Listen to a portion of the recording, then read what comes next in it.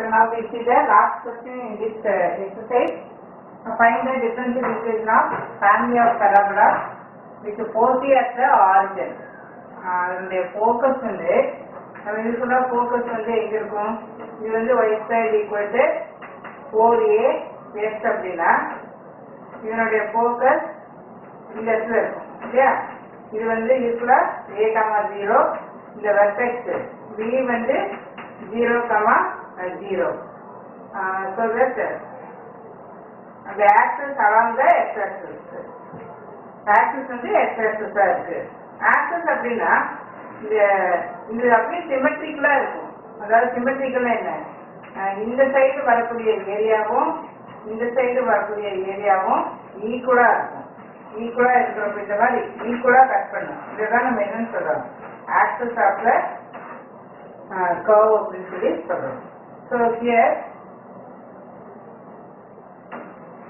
நம்ம கொஸ்டின்ல equation of family of parabola reserve போசியஸ் ஆரிஜன். நிறைய பேராகிராஃப் போகுது. அதனுடைய ஃபோக்கஸ்னுடைய ரூரல் ஃபார்ம் போசி அப்ப இது வந்து ஆர்ஜன் எஃப் தான்.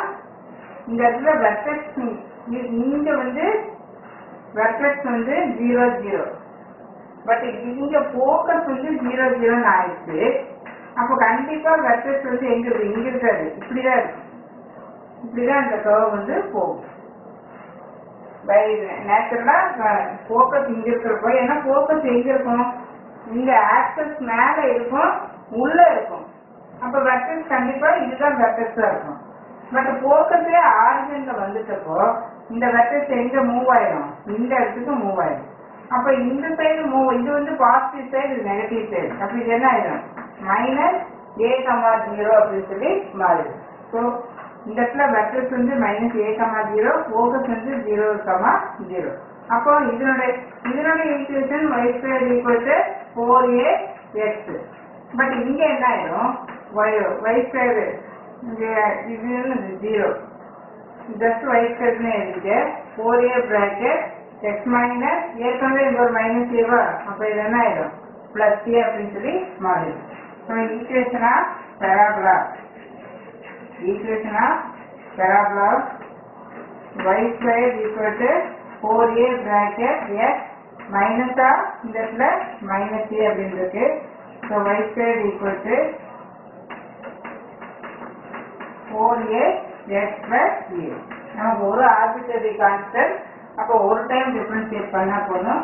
So differentiate with respect to X அப்படின்னு என்ன ஆயிடும்? டூ ஒய் இன்ட்டு ஒய் வந்தாவே எப்பொழுதுமே ஒய்னுடைய differentiation d y by d x equal to four A எக்ஸோட டிஃபரன்சியேஷன் ஒன்று இது வந்து ஜீரோ ஸோ இங்கே ஃபோர் ஏ அப்படின்னு சொல்லி மாறி so Y into d y by d x equal to two A of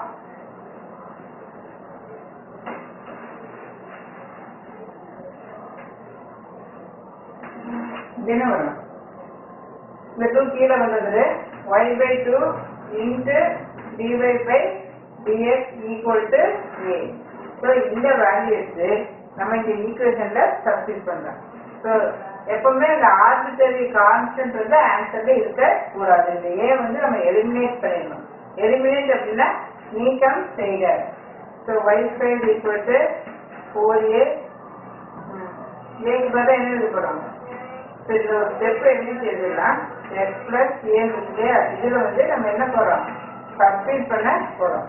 So Y square equal to four into ஏக்கு Y by two then d y by d x d y by d x bracket X plus இங்கே ஏவோட value அப்படியே இது எழுதிட்டோம் y by 2 dy by dx then x plus again y by 2 then dy by dx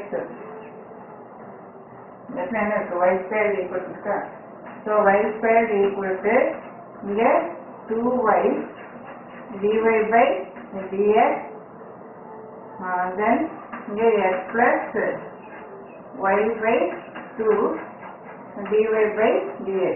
இதை வந்து உள்ள கொண்டு போனீங்கன்னா என்ன வரும்? Two X Y divide by d x இது உள்ள போறப்ப இந்த- இந்த டூ இந்த டூ என்ன ஆயிடும் கேன்சல் ஆயிடும் இந்த ஒய்யும் இந்த ஒய்யும் என்ன ஆயிடும் ஒய் ஸ்கொயர் மாறிட்டு இங்க dy by dx whole square ஏன்னா இங்க ஆல்ரெடி ஒரு dy பை dx. இங்க உள்ள எடுத்துட்டு போறப்போ அங்க ஒரு dy பை dx இருக்கு. So dy by dx whole square இந்த டூ டூ கேன்சல் ஆகிட்டு ஒய் இன்ட்டு ஒய் வந்து ஒய் ஸ்கொயர் அப்படின்னு சொல்லி வரும் இந்த இந்த இடத்துல கொஸ்டின் வந்து Y square answer correct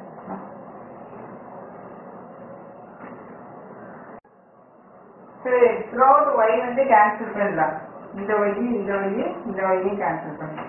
So Y equal to two X divide by d x then Y into divide by d x இந்த ஆன்சரோட இந்த எக்ஸைஸ் இந்த நெக்ஸ்ட் எக்ஸைஸ்